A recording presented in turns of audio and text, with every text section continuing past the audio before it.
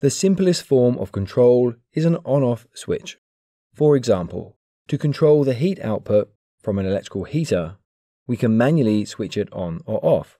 We could automate this, for example, with a bimetallic strip which acts as a thermostat.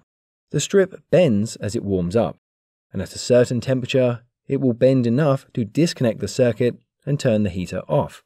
As it cools down, it completes the circuit again, and the heating turns on automatically.